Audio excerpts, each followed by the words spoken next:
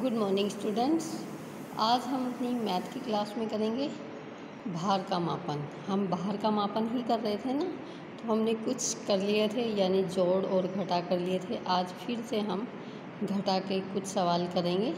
बाकी आप देखिए ध्यान से, ताकि आपको अच्छे से समझ में आ जाए। ठीक है स्टूडेंट्स ये देखिए स्टूडेंट्स आज हम घटा करेंगे। पहले भी किया है हमने, लेकिन आज एक बार फिर से देख लीजिए। ये देखो, पाँच में से पाँच को घटा करेंगे, दोनों क्या आएगा? ज़ीरो।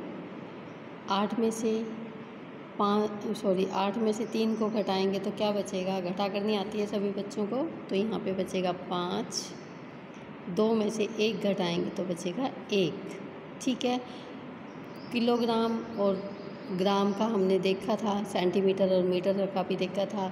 इसके पीछे किलोग्राम दिया गया तो हमने किलोग्राम साथ ज़रूर लगाना है। 150 किलोग्राम आ गया। ठीक है?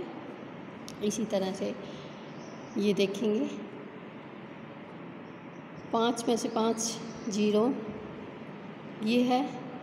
पाँच बड़ा है, चार छोटा है तो इसमें हम क्या करेंगे? हासिल ले लेंगे। यहाँ से यहाँ ली चौदह। यहाँ से एक हासिल ली, यहाँ पे क्या बन गया? चौदह। ठीक है। चौदह में से पाँच घटाएँगे हम, क्या बचेगा हमारे पास? नौ। क्या बचेगा? नौ। घटा करनी आती है लाइनों लगा लगा के भी कट करके घटा सकते हैं और उंगलियों पे भी कर सकते हैं, जैसा कि मैंने आपको पहले सिखाया ठीक। अब हमारे पास क्या बचा? एक। एक और एक में से क्या, एक में से एक गया तो क्या बचेगा? ज़ीरो। तो हमारे पास क्या आया? नब्बे किलोग्राम।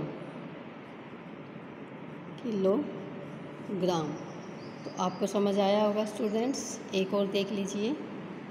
ये ये छोटा है, ये बड़ा है। तो यहाँ से हमने यहाँ आंसी ले ली, यहाँ पे बारह बन गया। ठीक है, बारह में से छः घटाएँगे। छः बचेगा। यहाँ रह गया तीन। तीन में से पाँच नहीं जा सकता, इसलिए यहाँ से फिर हमने हासिल ली।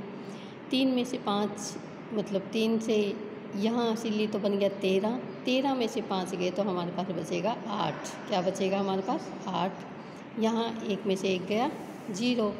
तो ये घटा करने के बाद जो हमारे पास आया, ये बचा हमारे पास छियासी ग्राम। तो ये था स्टूडेंट्स हमारे भार के मापन का जो बचा हुआ काम था, हमने आज उसको कंप्लीट कर लिया। हमारा ये लेसन कंप्लीट हो गया। बाकी की प्रैक्टिस आप खुद करेंगे और अपनी नोटबुक पे भी करेंगे और मैथ की बुक में भी करेंगे। Thank you students have a nice day